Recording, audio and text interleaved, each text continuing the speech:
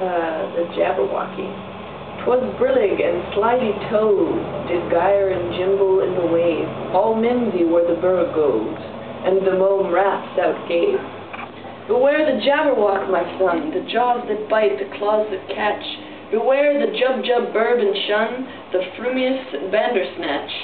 He took his vorpal sword in hand, long time the manxome foe he sought, so rested by the Tumtum tree, and stood awhile in thought. And as in uffish thought he stood, the Jabberwock with eyes aflame came whiffling through the tulgey wood, and burbled as it came. One two, one two, and through and through the vorpal blade went snicker snack. He left it dead, with its head he went a galumphing back.